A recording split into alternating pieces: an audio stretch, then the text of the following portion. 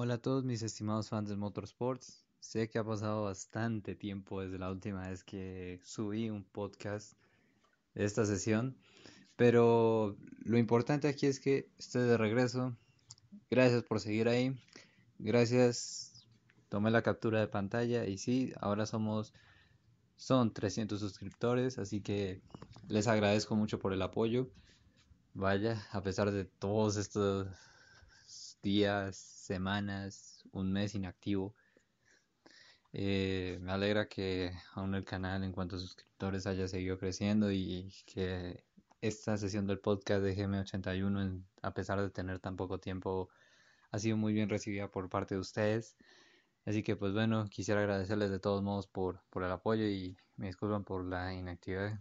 Como ya sabrán, en los últimos me venía quejando del editor y pues es un problema que se me ha cruzado con otros, así que no he podido solucionarlo todavía, pero pero hey, aquí estamos.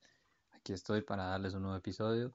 Han pasado muchas cosas desde locuras como el Gran Premio de Italia que ganó Daniel Ricciardo, una vez más McLaren está de vuelta, acabó con una sequía de más de 8 años, así que es una locura esta temporada de 2021 de Fórmula 1 también quisiera decir que felicitaciones a Alex Palou, al equipo de Chase Ganassi Racing por conseguir un campeonato más en su muy abultado historial de campeonatos y de 500 millas de Indianápolis también.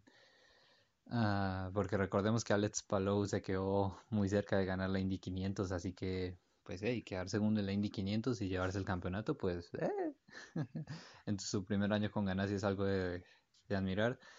Lástima por cómo terminó la temporada para eh, Pato Ward. Eh, sabíamos de que sí, era muy difícil que Pato eh, se coronara campeón de IndyCar, pero hey, ah, la posibilidad estaba ahí, pero que no haya podido terminar la carrera o que haya tenido que verse arruinada desde muy, muy, muy antes sin ni siquiera haber completado la primera vuelta es muy decepcionante, pero hey, ah, logró su primera victoria este año en Texas, luego haber ganado una victoria sorpresa en Detroit contra, si no me equivoco, fue contra New Garden o contra Will Powers. Creo que fue alguno de los dos Penske.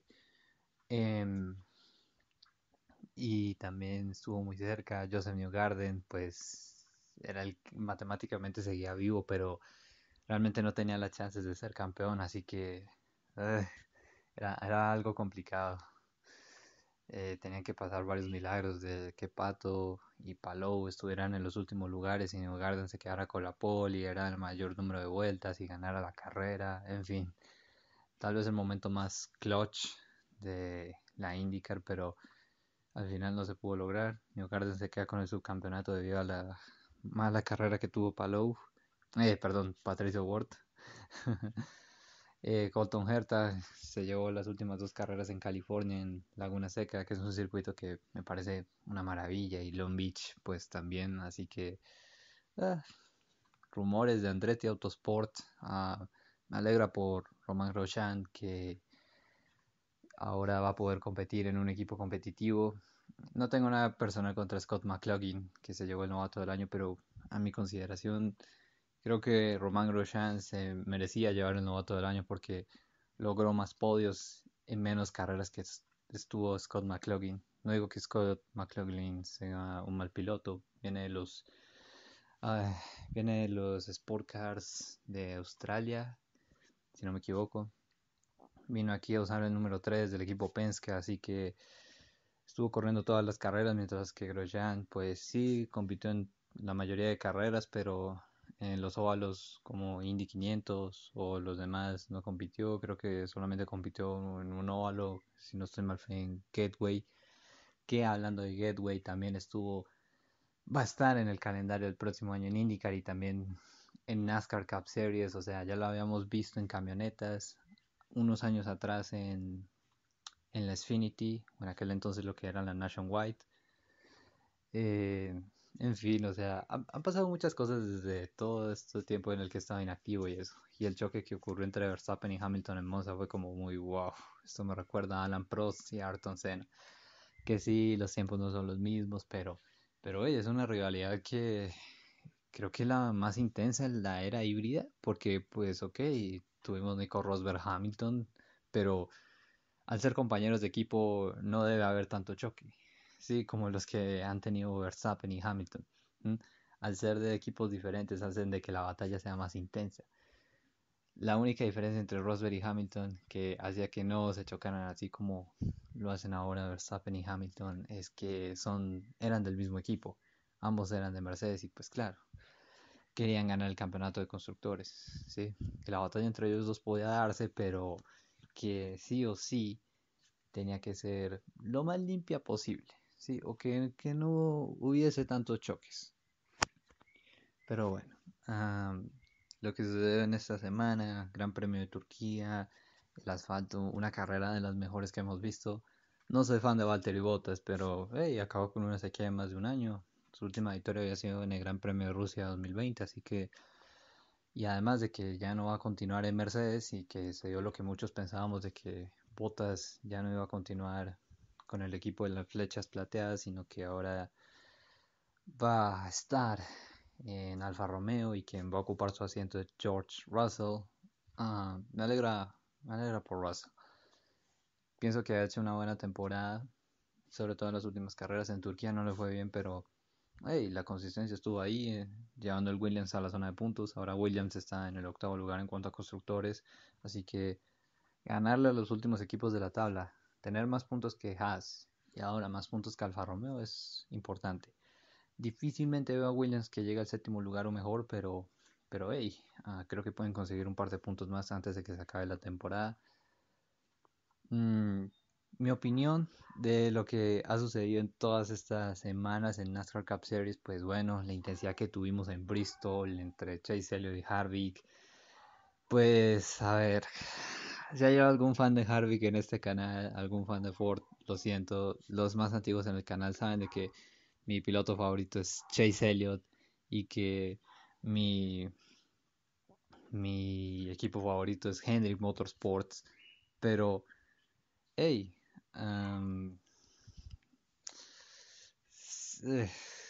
esto es difícil de explicar porque, ok, eh, cuando estás viendo la carrera, el fanatismo te llega, te gana, sí, y estás apoyando a tu piloto, pero no se tiene que convertir en, no, es que el mío sí o sí es el mejor, o que no, el mío eh, hizo esto bien, no. Voy a tratar de decirlo como yo lo vi, o sea, en Bristol pues ambos estaban peleando, pero pues creo que Harvick subió de más. Luego pues ya sabemos lo que sucedió, Larson aprovechó mientras Chase les, le hacía tapón y le ayudó para que Larson ganara, así que pues bueno, fue un final de locos, esas últimas vueltas fueron de locos como varios empezaron a tener problemas y empezaron a, a pincharse los neumáticos, recuerdo a Christopher Bell, a Kyle Busch, eh, unas vueltas más atrás, mucho más atrás, la batalla entre Larson y Hamlin, que Hamlin, eh, otro accidente y luego, bueno, fuera, pero ya estaba clasificado. Y luego lo que sucedió en la ronda de 12, que lo que fue Vegas, Talladega y Charlotte, yo dije, Denny Hamlin, me costaba creer de que Denny Hamlin entrara a los playoffs sin victoria. Y sí, entró sin victoria, pero hey, ganó la primera de los playoffs, así que bien por Denny ganó la Southern 500 en un momento que era justo y necesario. Así que gran chapó, eh, gran trabajo por parte de Denny, ganando la Southern 500. Estuvo cerca de ganar en Richmond, también en Bristol, o sea, la ronda de 16 era de sus mejores pistas. Luego ganó en Vegas, que nunca había ganado en Las Vegas, pero ya se había quedado cerca, recuerdo mucho el año pasado también. Este año también estuvo peleando en Las Vegas, pero finalmente este año se le dio. Ya va dos victorias. Sí, no podrá tener tantas victorias como las que tiene ahora Larson, pero de que ha sido uno de los más consistentes a lo largo del año, sí. ¿Que cuáles son mis candidatos para la final? Ya se los voy a decir. Es cierto que falta más de un mes, pero... Ah, no, falta menos de un mes. La final es el 7 de noviembre. Hoy estamos al día que estoy grabando esto, 11 de octubre. Así que me falta bastante tiempo, pero, pero hey, ah, después les voy a dar mis candidatos. me estoy tratando de poner al día lo más rápido que puedo. Luego sigue Talaega. Me alegré por esa primera victoria de Baba Wallace. Así que la lluvia y eso, que Super Speedway. Pero démosle crédito a Baba. Démosle crédito de que Baba en Super Speedway durante todo este año ha destacado. Sí, y antes de, estar en el equipo de Denny Hamlin y Michael Jordan. Eh, como en su primera Daytona 500 con Richard Petty Motorsport logró un segundo lugar. Y me pueden decir que yo que admiró y que sí, pero pues de todos modos era un top 5. De todos modos era un top 5, así que sigue siendo el mejor afroamericano en que logró un resultado en la Daytona 500, un segundo lugar. Es irónico cómo terminó, porque Denny Hamlin y Babas eh, tuvieron su conflicto después de la Daytona 500 del 2018 para que esta vez Baba a el piloto de Denny. O sea, es, lo irónico. Como dice, la vida da muchas vueltas, así que es, algo muy cómico. Pero bueno, ah, en fin, a lo que voy es que Baba lo hizo bien en Taladega. Es cierto que no estuvo liderando la mayoría de vueltas, pero en el último stint ya sabemos de que las nubes y que Taladega no tiene luces. Hago un paréntesis acá. ¿Por qué? O sea, Daytona tiene luces. Yo entiendo que en otras épocas como los 70, los 60, los 80, y yo sé lo costoso que es eh, ponerle luces a una pista, pero creo que es necesario porque necesitamos carreras como, como estas, de que sean cortadas por la lluvia, y que bueno, ok.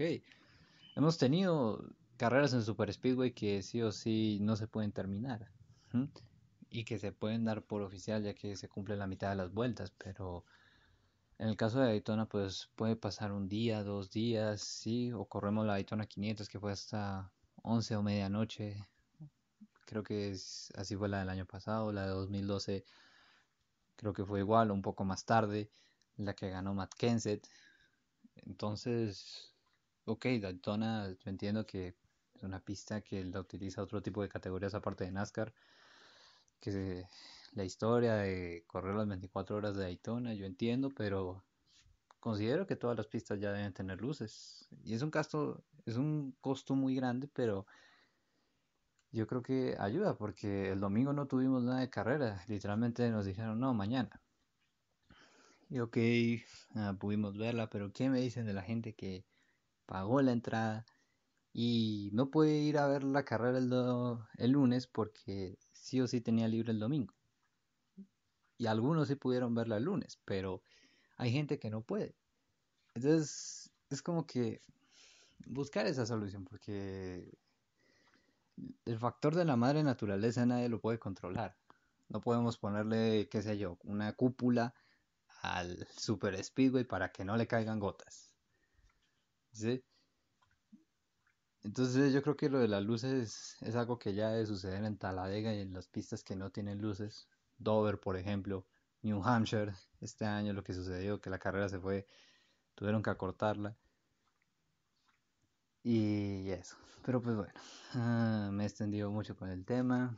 Ah, felicitaciones a Baba. Se habían completado más de la mitad de las vueltas, así que ya se puede dar como oficial. No cometió ningún error, aparte de que Kurt Busch si bien aún sigue con ganas y sabe que el otro año va a estar con el equipo de Annie Hamlin a ser compañero de Baba, así que ya sabemos que en Super Speedway los dos pueden hacer un buen trabajo, ya me di cuenta. Y pues Baba subió bien, bloqueó bien las líneas, tanto de ambos Penske y ambos Penske como que Zelowski, Logano, Blaney también, o sea, han ganado en Super Speedway y sobre todo en Talladega, así que Baba lo ha hecho bien. Como dije antes, todo este año ha destacado por su rendimiento. Recordemos que sé que van a ganar uno de los duelos, que le ganó Stein Dillon. ¿sí? Y también en las 500, pues no fue un mal resultado, pudo ser mejor, pero, pero estuvo ahí con los Toyotas. En Taladega recuerdo que ganó un stage, lideró un par de vueltas. En Daytona, pues bueno, terminó dentro del top 3. O sea, Baba se veía venir de que tarde o temprano su primera victoria era más probable que se diera en un Super Speedway que en otro tipo de pistas. Pero me, alegra por él. Ah, y luego tuvimos la carrera en el Royal que a pesar del poco tiempo y del el disgusto a algunos fans que no les parecía buena idea de que, que uno va lo que no va a buenas carreras, entonces a convertirlo en usar el circuito interno del oval. La verdad, yo difiero un poco de eso, porque Roval nos ha dado buenas carreras. No quiere decir de que entonces tenemos una carrera aburrida en Phoenix o en Kansas o en Texas y vamos a utilizar el óvalo, el óvalo, el circuito interno.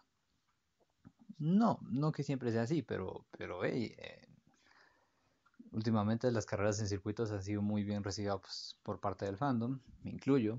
Así que Roval nos ha dado buenas carreras en 2018, 2019, la remontada de Chase. En 2020 tuvimos la primera oficial carrera bajo la lluvia de NASCAR, ¿sí? Y, este año, pues, la misma locura de siempre, hacer el corte de los playoffs. ¿Quién diría que un circuito puede dar tantas emociones? Y Roll, pues, lo hizo. Ah, Chase y Harvick, pues, ya tenían sus encontronazos después de lo que sucedió en Bristol. Palabras por aquí, palabras por allá.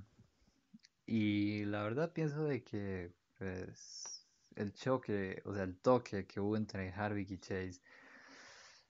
A ver, no, no puedo justificarlo y decir de que fue lo mismo como lo de Bristol, porque en Bristol ya en el final de la carrera ambos ya estaban clasificados por puntos. Fuera que ganara Harvick o fuera que ganara Chase o no ganara ninguno, si se mantenían dentro de esas posiciones o, incluso creo que debajo del top 10, top 15, top 20 diría yo, ya estaban clasificados y no podía suceder nada. Así que lo entiendo. Entiendo el factor de que sí, da rabia perder una victoria, que es lo más cerca que ha estado de ganar Harvick en el año y que también ah, ha sido un año difícil. Pero eh, aquí no están las mismas circunstancias porque el único que ya estaba clasificado era Denny Hamlin por haber ganado en Las Vegas. Los demás siguen en la burbuja. Y hubo un momento en la carrera en el que Larson peligraba. Fue el momento más estresante de la carrera para mí como fan de Hendrick. Porque, en serio, eh, el de vu de lo que sucedió con Harvick en, en Martinsville, en la ronda de 8 en general, o sea, que le sucede a Larson, eso, que un problema de la batería y eso. Todo se le complicó a Larson porque, o sea, él tenía una muy buena base en puntos, un muy buen colchón de puntos llegando a la ronda de 12. Sobre todo cuando logró su victoria en Bristol, pero ese choque que hubo en Talladega. Mm. Larson ha dominado en circuitos, Larson ha ganado en pistas intermedias, en short tracks, pero en los super speedways todavía no ha dado con la tecla. Todavía no da Larson con los super speedways. Eh, no, o sea, hay pilotos que le salen muy bien y que tenemos grandes pilotos que marcaron la historia en Daytona y Talladega, en las carreras con plato restrictor, como lo fueron Dale Earnhardt, Jeff Gordon, Jimmy Johnson, Sí, o para no irnos tan atrás, entonces en la última era, Joe Logano, Brad Keselowski, Ryan Blaney, Denny Hamlin, o sea, que sí o sí se les ve de que ese son su fuerte, esos son su tipo de pistas, pero a Larson le costó y llevaba haciendo una buena carrera, pero él no provocó ningún choque, pero sí estuvo involucrado, entonces es la mala suerte de lo que se puede tener en un super speedway como Talladega. Eso complicó a Larson y luego el problema de la batería, cómo el equipo Henry tuvo que solucionar todo. Bowman tenía que ganar, yo dije puede ganar, pero ah, terminó segundo en Charlotte en 2019, así que puede hacerlo, pero en realidad Bowman nunca estuvo con, el auto para poder ganar. Eh, muchos trompos, muchas, mucho caos en, en, la recta posterior llegando a esa, esa chicana. Eh, mucho caos, de verdad. Wow. Creo que de, todas las carreras del Roval que he visto, esta ha sido la más caótica y, y que ha sido un dominio de Hendrick. Sí o sí. Ah, que 2018, sí, pero es que, coño, perdón. O sea, Truex, eh, Blaney, Johnson. Créanme que cuando lo vi, eh, no sabía si llorar en aquel momento, cuando Jimmy perdió esa carrera. En fin. Uh, ¿Quién iba a predecir lo que sucedería después con Johnson? Con Mr. Seven Time. En fin, ah, para no volver deprimente el video, pues una carrera con muchos cambios. Con Harvick en la burbuja, Keselowski también. Si no era Harvick, entonces era Keselowski. Harvick tocó a Chase después del segundo stage. O sea, en el primer stage el final fue increíble. Cuando Chelo ganó con Almendinger, le ganó limpiamente.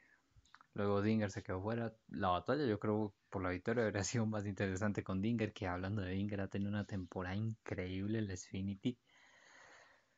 Se merece el campeonato, pero bueno, ya sabemos cómo es este formato, así que, hey. ¿Qué más sucedió? Pues mi opinión de lo de Harvey, o sea, no era necesario porque ninguno de los dos estaba clasificado. Y si ambos ya estuvieran clasificados, si Chase y Harvey ya estuvieran clasificados, pues yo digo, ok, lo entiendo, era la revancha de lo que sucedió en Bristol, lo entiendo, pero eh, prácticamente Harvey quería eliminar a Chase, o sea, y ninguno de los dos estaba clasificado, así que yo digo, no puedo justificarlo porque no son circunstancias similares a lo que sucedió en Bristol. Sí, son carreras por el corte, pero no es lo mismo, por lo que ya les comenté. Y bueno, ya después sucede más caos, sucede que ya después de eso Chase tiene que empezar a remontar, Chase estaba en zona de eliminación.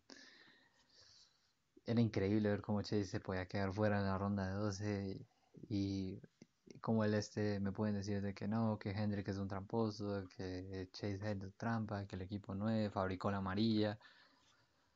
Ah, no sé qué decirles en cuanto a este aspecto porque, o sea, ah, depende del reglamento. Muchos decían de que no era necesario que era mejor cortar esa parte trasera que estaba dañada, porque eso ya parecía un sticker.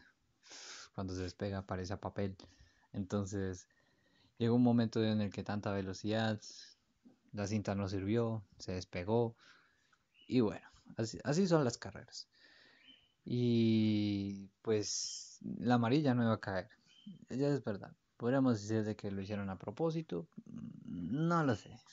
Como fan de Hendrick Obviamente quiero que mi equipo gane, pero ah, es difícil entrar en esa discusión de que dejaron que les a propósito o que el reglamento o eso, pero pues después miramos lo de Harvick, entonces como que nada es tan blanco y nada es tan negro y todo termina siendo una escala de grises. Entonces, eso es lo difícil de determinar. Este episodio va a quedar un tanto largo, así que me disculparé. Eh, perdí la, noción del tiempo, no sé ni cuántos minutos llevo aquí grabando este podcast, pero si ya 40 o 45 minutos me perdonarán, pero tenía que actualizar la información. Aún seguimos en NASCAR, ya les había hablado algo de IndyCar, yo voy a terminar con NASCAR. Entonces, bueno, estamos en la recta final de la temporada. Ah, al final Chase logra remontar, luego sucede más caos más reinicios, trompos de Keselowski, está en la burbuja, Harvick tiene que remontar, está a punto de clasificar. Y luego llega un momento en el que Chase está a dos autos de alcanzar a Harvick y devolvérsela hasta que llegan a la curva 1 y Harvick bloquea y se va solo contra el muro. Yo, como dije, me perdonarán los fans de Harvick de este canal, pero celebré, grité, pues mejor dicho.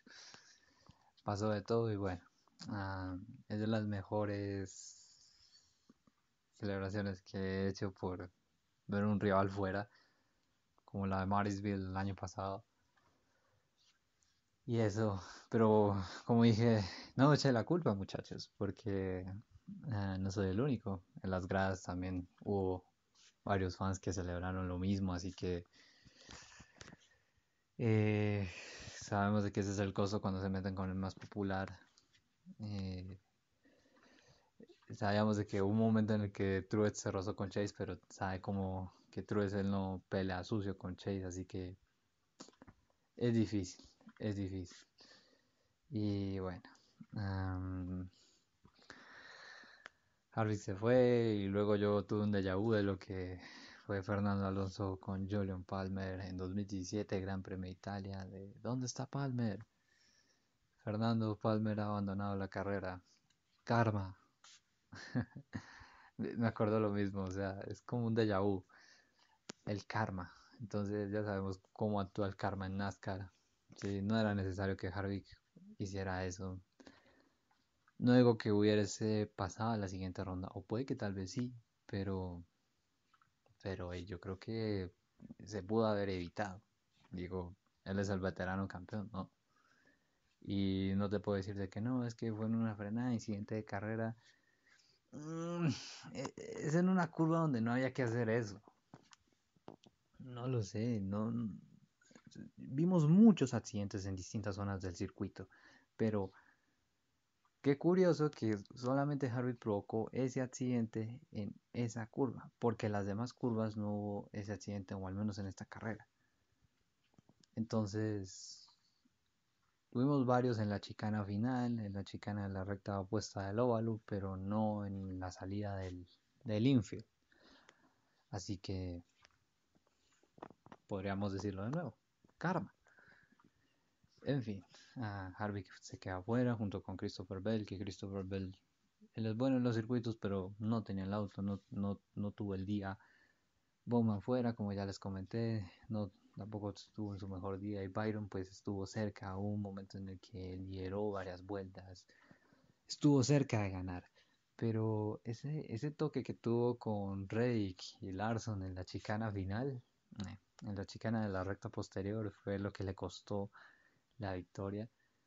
Al final vemos de que sí, que vaya atrapado en el césped en la última vuelta y pues ya no pudo hacer nada. Podríamos decir órdenes de equipo, pero No, aquí lo de las órdenes de equipo no, no funciona como en la Fórmula 1. Y ejemplos con Hendrick ha habido montones. O si queremos uno reciente con Joe Gibbs. O sea, que uno esté eliminado o el otro ya esté clasificado y que le sea la posición para tener un auto más. No es el estilo de NASCAR. No es el estilo de ellos porque normalmente la filosofía es el mejor hombre en pista gana. ¿Sí? Esa es la filosofía. Entonces, yo dije, bueno, y si Byron pasa a Reddick, entonces, Larson ya clasifica, pero si le cede la victoria, entonces se mete un problema con... Es difícil, o sea, como que Byron tenga que pasarlo por sí mismo. Y aquí entramos en un complique de que no, que más autos para Henry, que más autos aquí, que más autos allá, pero... Eh, como que al final no terminó funcionando. Y bueno, es lástima por Byron porque hubo un tiempo en el que recordemos que tuvo un inicio de temporada fantástico, siendo muy consistente en las primeras 18 carreras. Pero luego ya llegando a los playoffs empezó a caer un poco. Luego en Bristol tuvo un gran resultado que le sirvió para pasar, pero pues pasó por muy poquito, eliminando a Reddick. Así que ah, ya era necesaria una buena carrera en Las Vegas, no fue buena, la estrategia no funcionó, un pinchazo y todo. Luego Talaega, pues siendo Talaega, y a Roval, pues lideró la mayoría de vueltas, pero eh, lo que sucede en la chicana de la recta posterior, eso le costó la victoria. Y bueno, eso hasta aquí llegó el sueño de los fans de Henry de tener los cuatro autos en la final. Ahora solamente quedan dos. Quedaron eliminados un Stuart Haas, dos Hendricks y un Gibbs. Y en la ronda de 8 quedaron dos Hendricks, tres Penske y tres Gibbs. Tres Fords, dos Chevys, tres Toyotas. Yo soy sincero, era algo que se debía venir porque tiene lógica, porque Logano, Keselowski y Blaney ya son decentes en los circuitos, en Las Vegas sacan buenos resultados y en los Super Speedways, pues ni hablar. Y más si los tres pens que terminan en el top 5, así que era tener un día decente en el robot. Y fue lo que consiguieron. Bueno, excepto que Zelowski. Pero, hey, aprovechó las circunstancias de que Harvey tuvo que abandonar y eso. Así que, Terence Penske, los únicos tres Ford, yo diría que lo justo porque pues uh, son los Fords que han sacado la cara por la marca del óvalo durante toda la temporada. Eh, sí, porque Stuart Haas no ha ganado ni una sola carrera.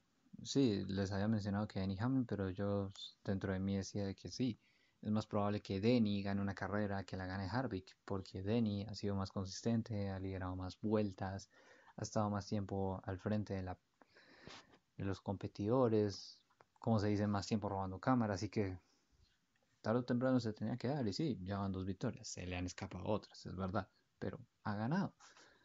Y tiene lógica, junto con Truex, que también ha sido muy consistente, Kyle Busch también, o sea, sí, tuvo una mala, una mala carrera en el Roll. Déjenme ver qué posición finalizó Rowdy. Rowdy, ah no, cuarto. Pero la verdad no recordaba que haya destacado mucho. Es que, o sea, Kyle Busch lo hace bien, pero los Super Speedways termina siempre arruinándole la carrera. Y como que Las Vegas es su carrera de casa, pero hay como una especie de tabú contra Kyle Busch. Es el aero local, pero le cuesta ganar en su casa. Eh, en fin. son los mejores del año. Son los ocho mejores del año. Pues si nos vamos al formato de la vieja escuela, de la Winston, pues podríamos decir de que los mejores del año son siete de esos ocho y que debió haber entrado debió haber entrado Harvey por Keselowski pero pues bueno ya el formato es así. Yo creo que Harvey sí pudo haber entrado pero se pudo haber evitado eso con Chase Elliott. Yo estoy totalmente seguro de que si Harvey no hubiera hecho eso si Harvey hubiera pasado a Chase de otra forma o simplemente no se hubiera metido con él o lo hubiera dejado pasar o si se lo hubiera cobrado de otra forma quitándole la victoria en la ronda de 8, quitándole el pase a la final, pues yo digo, ok, así son las carreras, así es este formato, lo hemos visto antes, pero no fue así. Y ya sabemos, ha pasado antes con el karma de Annie Hamlin en 2017, miren que yo soy fan de Annie. ¿Qué otro? Matt Kense, yo lo ganó en 2015, ¿lo recuerdan? Brad Keselowski, Jeff Gordon. 2016, en 2016 casi no. Ah, Carl Edwards yo lo gano. La ronda final. 2018, Martin Truex Jr. lo gano. 2019, Hamlin lo gano. O sea, esto es de parte de los playoffs, de que todos los años siempre hay una polémica entre uno y otro. No normalmente suele ser entre compañeros de equipo, pero sí entre rivales de marca. Entonces, era algo que se veía venir. Yo lo esperaba más que todo entre Hendrick y Gibbs, porque han sido los que más han ganado carreras durante este año. Pero siempre ha sido o Ford contra Toyota o Ford contra Chevy, y ha sido así. Pero con Penske ha sido un poco más limpio a comparación de otros años. Entonces, es eso. Quedan tres carreras en la ronda de ocho, son tres. 4 lo que resta de temporada. Kansas, ah no, Texas, Kansas y Martinsville. Se me había olvidado el orden. ¿Qué les puedo decir? Pues a ver, como Texas es la primera, podríamos decir de que la única referencia que tenemos es la carrera de estrellas que ganó Larson. Podríamos decir de que Larson puede ganarlo otra vez, pero es difícil, porque Logan ha ganado en Texas, Chase, el Xfinity ganó en Texas, o sea, Chase se ha quedado cerca de ganar en Texas en Cup, pero no lo ha logrado aún. Lo ganó, ha ganado en Texas, que es el Lowski, no me acuerdo. Pero suele sacar buenos resultados. Uh, Truex ni se diga, también puede sacar buenos resultados. Kyle Busch ha ganado en Texas, Denny Hamlin también, Ryan Blaney creo que logró un segundo lugar una vez. Así que está difícil quién puede ser el ganador en Texas. Mm, y en Kansas también, en Martinsville también, así que me animo a decir los candidatos. Es difícil acertar los cuatro, pero trataré de hacerlo. Ah, es que está muy apretado todo. Y sabiendo cómo corre Logan y que Zelowski, pues ya sabes cómo complican las cosas. A ver, mi primer candidato yo diría que Larson. Diría que puede ganar alguna de las intermedias. En Martinsville no creo porque Larson, que yo recuerdo, nunca ha ganado en Martinsville. Ah, ha ganado en Bristol y Richmond, pero en Martinsville no recuerdo que destaque tanto. Puede conseguir top 10, pero no como que el paperclip le cuesta más. Así que creo que Larson puede ganar en Texas o en Kansas. Así que yo pongo al 5 de Hendrick en la final para Phoenix. Y también diría de que pongo a Denny Hamlin. Puede ganar en Kansas o en Texas o en Martinsville, cualquiera de las tres. O puede pasar vía puntos. Va el 5 y el 11. ¿Qué otro? Ah, es que es difícil. Está difícil. Diría que Kyle Bush, porque lo hace bien. Sí, Kyle Bush. Mm, Texas, Kansas, ganó en Kansas, recordemos, ganó en Kansas, ha ganado en Martinsville, ha ganado en Texas, así que, ¿por qué no? Va a ser un problema. y el último se lo doy a Chase. Creo que el Chase va a defender su corona hasta la carrera final y que ya tiene que ser un duelo mano a mano contra Larson y contra los demás Gibbs. Todo este año ha sido en su mayoría Henry contra Gibbs y los Penske han estado ahí, pero en esta ronda ya no hay más super speedways y en las intermedias ha sido o Hendrick o Gibbs. ¿En dónde ha ganado Blaney? Blaney ha ganado tres veces este año. ¿Y dónde fueron? Una intermedia que fue Atlanta, pero ayudó Logano, así que... Eh, y no, y Atlanta, así que tampoco es la misma pista y no es la misma distancia. A ver qué otro. Blaney también ganó en Michigan, pero no hay pistas de dos millas. Y Daytona tampoco está. Logano solamente ha ganado una carrera, pero es pista de tierra, aunque ya sabemos cómo corren las demás. Pero la velocidad, como dije, en short tracks las tiene más. En short tracks, en Martinsville, por lo, por lo que un Chase sigue venciendo a Larson porque los demás pistas Larson ha vencido a Chase, o sea, en todos los circuitos en donde Chase había ganado el año pasado, este año ganó Larson, el Glen, el Roval. Bueno, podríamos decir que el Daytona circuito no lo ganó, ese lo ganó él, pero ¿me entienden a dónde quiero llegar? O sea, Sonoma también lo, ganó. Así que sabemos de que es difícil ser un buen eh, piloto de circuitos, pero hey, Lazo nunca había ganado en circuitos con Ganassi, pero es increíble lo que ha, demostrado este año. Yo creo que nadie lo imaginábamos, esperábamos de que, bueno, que Larson entra como mínimo a los playoffs y ganará una carrera o dos, pero siete y ser el líder del campeonato, hombre, hombre, en fin. entonces, este es mi final. Chase Elliott, Kyle Larson, Denny Hamlin, Kyle Busch.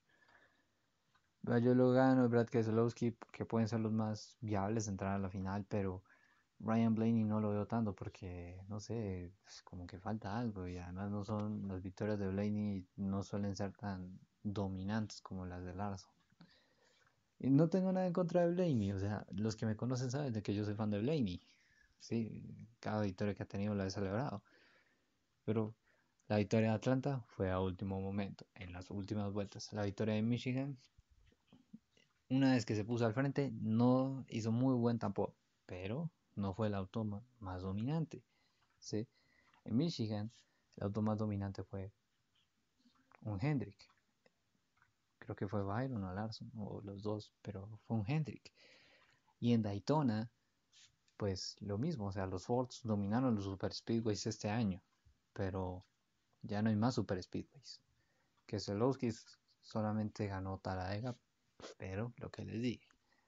Lo ganó Bristol de Tierra, pero ya les dije. O sea, este año a Ford le ha costado mucho ganar. Mucho. Y las victorias han sido último momento. Entonces va, a ser difícil. Como dije en short tracks, pues tienen. Por, porque yo digo que Gibbs? Pues yo creo que están de Truex, Kyle Busch o Hamlin, pero Joe Gibbs Racing creo que puede tener al menos uno de esos tres pilotos en la final. Porque los tres son muy buenos en esas tres pistas. Los tres han ganado en Martinsville. Y los tres son buenos en Martinsville. O sea, se les da. En Kansas también. En Texas, bueno, a Truex le ha costado, pero, pero puede conseguir un top, un top 5, un top 3. Entonces, por eso yo veo a dos Gibbs ahí en la final. veo muy difícil que pasen los tres porque, o sea, entre ellos se pueden ir eliminando y saben de que, ah, por Joe Gibbs, pues bueno, mete tres de los cuatro autos que tiene, como hizo en 2019, pero, pero vemos de que, obviamente, si tiene la oportunidad de quitarle la victoria a su rival porque saben de que va a ser más difícil, ¿sí? Una cosa es eliminar a tu rival de otro equipo, pero también, sí, es tu compañero de equipo, pero al final de cuentas también es tu rival en la final. Entonces, es eso. Como dije, veo el duelo final entre Denny Hamlin, Kyle Busch, Kyle Larson y Chase Elliott. Para mí esa es la final. La de ustedes, quiero leerla en los comentarios. Bien, ah, este episodio va a quedar exageradamente largo, así que para no alargarlo tanto, llevo 40 minutos hablando, así que voy a tratar de hacerlo más resumido lo que viene de Fórmula 1. Eh, a ver, Bottas acabó con la sequía, ya lo mencionamos. Verstappen, Checo Pérez en el podio. Me encantó el nuevo diseño de, de Red Bull en honor a Honda. ¿Honda o Honda? Bueno, en honor a la marca japonesa. Eh, una carrera decente, o sea, hemos tenido carreras impresionantes en circuitos en las que comúnmente no, no nos daban buenas carreras como Paul Ricard en Francia o Sochi en Rusia, pero hey, tuvimos espectaculares carreras o carreras decentes para recordar. Y eso fue lo que sucedió en Sochi. Me dolió lo que sucedió con Lando Norris, pero hey, ah, una lotería y así como una tanda de penales, el que se equivoca pierde, pues aquí la lluvia llegó un momento a otro y pues entiendo a Lando Norris de que quería quedarse y aguantar hasta el final. Tal vez hubieran quedado dos o tres vueltas, una vuelta lo habría logrado, pero aún quedaban más de cinco, seis, si no me equivoco, así que dolió, doloroso para los fans de Lando y de McLaren. Pero es, es, un buen comienzo porque si Richardo y Lando están en su mejor forma y le dan unos autos competitivos que puedan pelear no solamente por ocasionales victorias, sino por toda la temporada, podríamos estar hablando de que el regreso de McLaren está más cerca que el de Williams. Claro que en 2022 no sabemos qué vaya a suceder, pero o qué, qué equipos van a dominar esa nueva era que viene. Pero McLaren tiene una buena dupla, Ferrari tiene una buena dupla con Carlos Sainz y Charles Leclerc. O sea, qué infravalorado es Carlos Sainz qué, infravalorado, porque cuando empecé a ver Fórmula 1 ah, te mostraban Verstappen, Hamilton, Vettel, Gasly, Leclerc, Russell, Lando, pero ¿quién decía algo de Sainz? Eh, decían, ah, sí, es consistente, pero como que no, lo muestran casi, ¿por qué? Yo no entiendo, ¿será que la televisión es, ah, internacional le tiene tirria a los españoles o qué? no, esto es un chiste, pero pues, o sea, a veces pareciera eso, porque eh, como que los ingleses le tienen sus, sus, su, su rifirrafe a los españoles por Alonso Hamilton. esa batalla en Hungría la sigo recordando. Pero, hey, o sea, Carlos Sainz es muy consistente. En los dos años que estuvo en McLaren terminó por delante del campeonato ante Lando. Yo la temporada increíble que ha tenido Lando, o sea, los, la competencia te ayuda a llegar a un mejor nivel. Entonces, Carlos Sainz es muy bueno. Hablamos de la generación futura, de que va a dominar la Fórmula 1, de Leclerc, Russell, Verstappen, Norris, pero ¿qué me dicen de Carlos Sainz? O sea, Carlos Sainz ha tenido compañeros de equipo que no son cualquier cosa, ¿eh? En su año de novato también fue compañero de equipo de Verstappen en Toro Rosso lo que hoy es Alfa Tauri. Y miren, yo no soy español, para que no me vengan a decir de que, ah, es español. No, yo, yo no soy español, yo soy colombiano. Pero, pero ellos, o sea, muchos decían de que va a venir a Ferrari a ser el escudero de Leclerc, pero no es escudero de Leclerc, o sea, tienen la misma pinta de que ambos pueden terminar peleando por el campeonato, al igual como Norris y Richard McLaren. Es cierto que Leclerc es un prodigio, es cierto que Leclerc ha tenido una temporada un tanto desafortunada en algunas ocasiones, lo que sucedió en Mónaco, por ejemplo. o en Hungría también la mala suerte, pero Carlos Sainz ha estado ahí, o sea, es curioso porque Carlos Sainz a Mónaco, Leclerc no pudo empezar la carrera, pero podio de Sainz, podio de Ferrari. El otro podio, ¿dónde fue? No, no me acuerdo.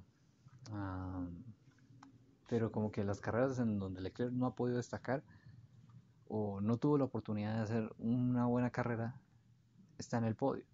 ¿sí? Ah, creo que el segundo fue en Hungría por la descalificación de Vettel. Y el otro recientemente, pues, en Rusia. O sea, es muy bueno Carlos Sainz. Es muy bueno. Pero es infravalorado. O sea, ¿cuántos puntos tienes ahí? 116 y medio. Y Leclerc 116. Así que descuero, Sainz no creo que tenga nada.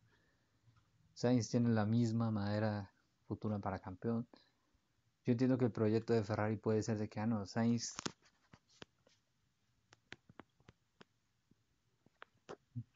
Perdón, me asusté un momento, es que el micrófono tuvo un problema. En fin. ¿A dónde iba? Ah, Sainz, o sea.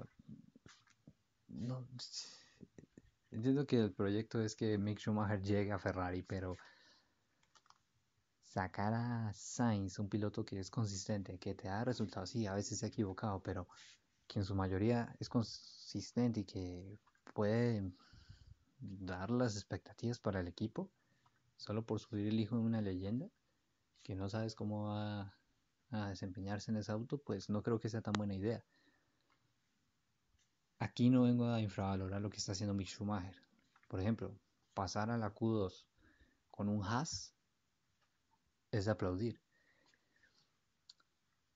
Sí, es el hijo del campeón y eso, es el hijo de Michael Schumacher. Yo también soy fan de Mick Schumacher. Yo lo he dicho en este canal. Yo celebré el título de Mick Schumacher cuando venció a Callum, Callum en la Fórmula 2 el año pasado. Pero a donde quiero llegar es que, hey, para que no suceda lo de Pierre Gasly con Red Bull en 2019, entonces yo le daría como unos tres años a Mick Schumacher en uno de los equipos de Ferrari, que estén afiliados con motor Ferrari, qué sé yo, Alfa Romeo o que sea unos años más en Haas, para que vaya madurando, porque su primer año de novato y luego al siguiente lo suben, no pueden hacer lo mismo porque ya vieron qué le sucede a Gasly. Y Gasly lo bajan a Alfa y luego empieza a perfeccionar más y ya y es un serio candidato a que lo suban a Red Bull en los próximos años. No están en Red Bull el otro año, pero hey, en 2023 creo que si Gasly no está en Red Bull, creo que ya debe buscar otro lugar a donde ir. Alpine, qué sé yo. Pero yo digo que deben darle unos dos años más a Mick Schumacher para que vaya afinando. Y que le den un auto más competitivo, que esté en un equipo que pueda despegar un poco más. Y luego ya dependiendo de cómo termine Sainz o Leclerc, pues determinen eso. Lástima que en Fórmula 1 no se puedan tener como tres o cuatro autos al igual que en NASCAR. Pero y bueno, ya sé por qué es, o sea, es costoso y todo lo que quieran. La tradición ha sido de dos autos, pero, pero, hey, o sea, es eso. Si el plan era traer a Sainz de escudero de Leclerc, creo que el tiro les ha salido por la culata. Perdón por el término, pero me parece que ha sido así. Sainz ha demostrado muy, muy buenos resultados. La parada ayer fue desastrosa, la parada 8 segundos, que no, que venía alguien, pero una parada muy lenta. Pero bueno, un octavo lugar para Sainz, así que bueno.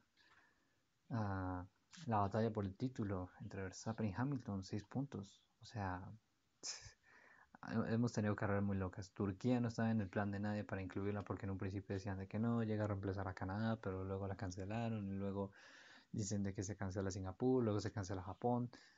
Luego pasamos a tener un calendario de 23 carreras a 22 oficialmente, entonces otra vez vuelve Turquía. Yo quedé como, ¿a qué estamos jugando? Para tanta gracia, dígame que Turquía va a estar el otro año. Aún no salió el calendario, ya salió el calendario de NASCAR, que hablando de ese calendario, como dije, tengo que hacer un video más adelante, porque ya de por sí este video está quedando muy largo. Este podcast de GM81 especial 300 suscriptores ha quedado muy largo. El calendario de F1 aún no ha salido, Creo que va a salir los próximos días, pero bueno. Nos quedan seis carreras. Estados Unidos, México, Brasil, Qatar, Arabia Saudí Emiratos Árabes Unidos. Ya saben mi opinión acerca del tema de las últimas tres que mencioné. Abu Dhabi no me parece un buen circuito, van a hacer algunos cambios y por la temporada que hemos tenido, de tener carreras de locura, emocionantes, entretenidas, en circuitos tradicionalmente malos en los últimos años, es algo de lo que, bueno, tal vez Abu Dhabi por primera vez nos pueda dar una final decente a comparación de lo que fue 2010 y 2016. Y Arabia Saudí es un circuito que lo siguen construyendo. Sé que están tratando de terminarlo, pero como dije, hay una cuestión política con la que igual, pues muchos no estamos de acuerdo. Sí, pero pues, o sea, ya sabemos que este tipo de carreras de países de Medio Oriente están ahí no por la calidad del circuito, por la cultura automovilística que tengan, sino es por el dinero que ponen. ¿sí? Porque ya sabemos, son países que de dónde sacan el dinero y eso. Ustedes ya saben eso. ¿sí? Y Qatar, a ver. Usar como pretexto, como justificación, como excusa o como lo quieran llamar, la gente de los directivos de Fórmula 1 decir de que no, es que vamos a hacer un gran premio de Qatar porque aquí se va a correr el Mundial el otro año. Aquí se va a realizar el Mundial de Fútbol. Eh, no es una respuesta convincente, en primera. En segunda, uh, originalmente esta pista es para MotoGP, si no me equivoco. Entonces, que funcione en motos no necesariamente, quiere decir que vaya a funcionar en monoplazas. Es cierto que Mugello nos dio una carrera muy entretenida, pero Qatar se ve muy plana. A mí me gustan las carreras con las pistas con bastante inclinación en las curvas, ¿sí? Por eso Sambor sí es un circuito estrecho, ok, pero me, me gustan esos cambios de elevación que tiene. Interlagos también. Spa Champs. Me dirán, Monza no tiene ningún cambio de elevación, es muy leve. Sí, es verdad, pero tenemos largas rectas, curvas, la chicana de la curva 1, la variante de Ascari, entre otras. Entonces, la forma del circuito de Qatar no me convence. Aunque como dije, ha sido una temporada muy loca y quién sabe, tal vez tengamos otra carrera alocada. Pero pues como dije, lo ideal no es eso, lo ideal es tener carreras en otro tipo de pistas. Muchos fans estamos pidiendo que ojalá vuelva a Malasia o qué sé yo, Sudáfrica o Argentina, pero Argentina es eh, el Gran Premio de Argentina pues es mucho más, como se dice, complicado por el estado del autódromo, eh, por lo que sabía, pero, pero es eso, sea, es, es difícil, es difícil porque la dirección en lo que está tomando la Fórmula 1, por eso es, es complicado es complicado porque sabes que la categoría tiene dinero, pero cuando estás en urgencia y no sabes de dónde sacar el dinero, pues digamos que la manera en la justicia o en la manera de cómo puede ser menos honesta, de dónde sale el dinero, pues cada vez importa menos.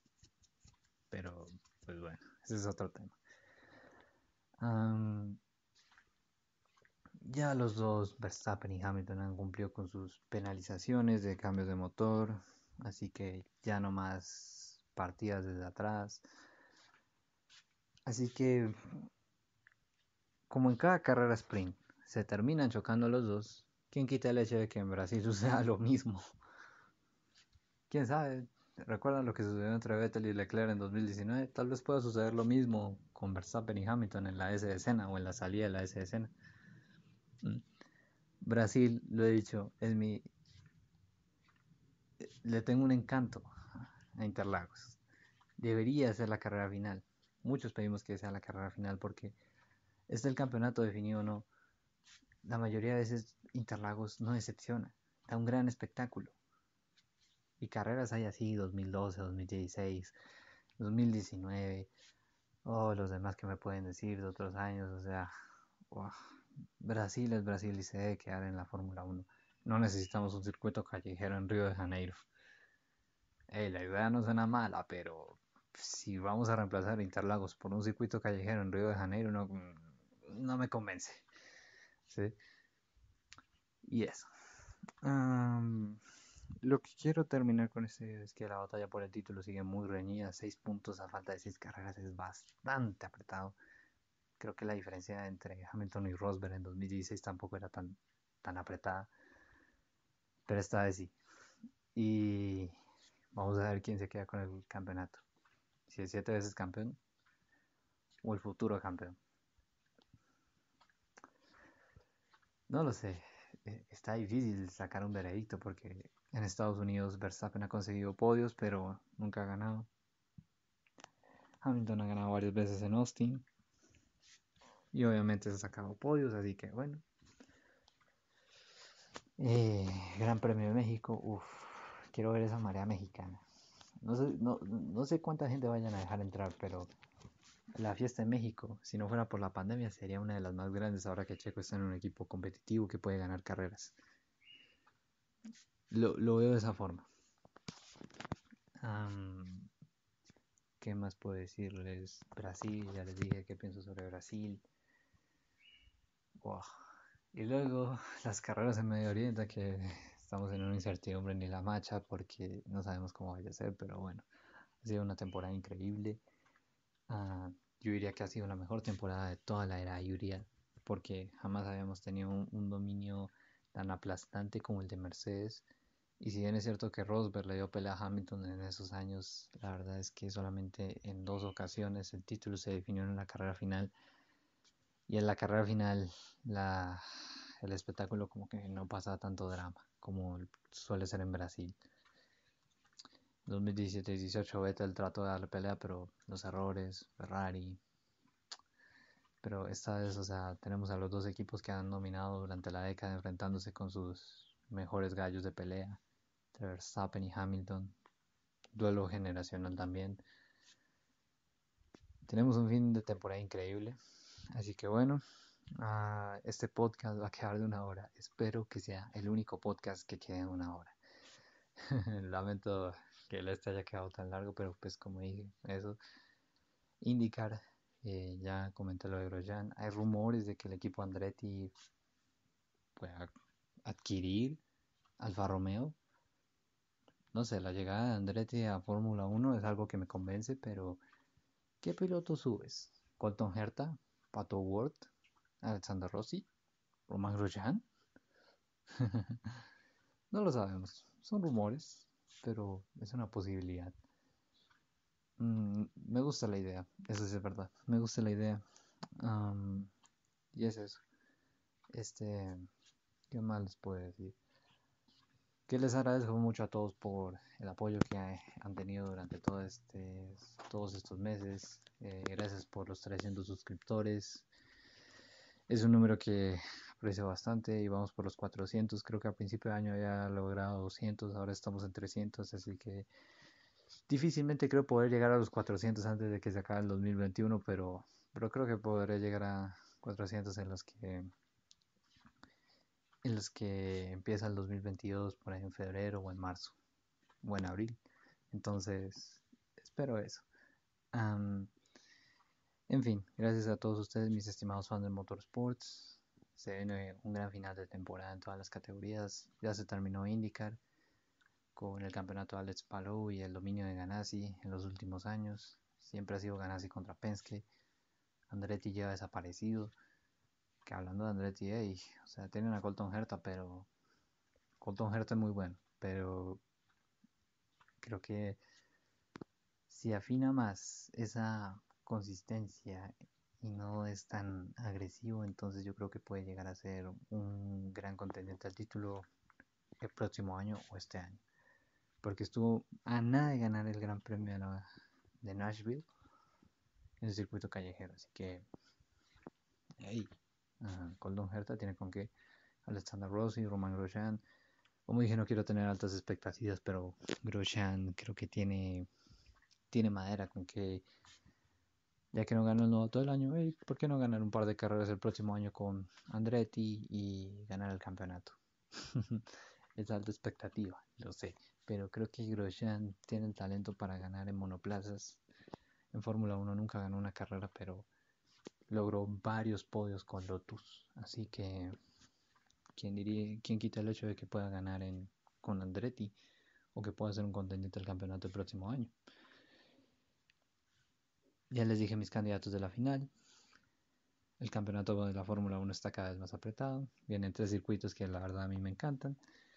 Los últimos tres de la temporada no tanto, pero bueno. Así es, así es el calendario. Y disfrutemos de la temporada en lo que queda del Motorsports. Uh, eso ha sido todo, mis estimados fans de Motorsports. Gracias por seguir ahí, una vez más. Y bueno, espero que hayan disfrutado este episodio del podcast de GM81. Sin nada más que decir, gracias y hasta luego.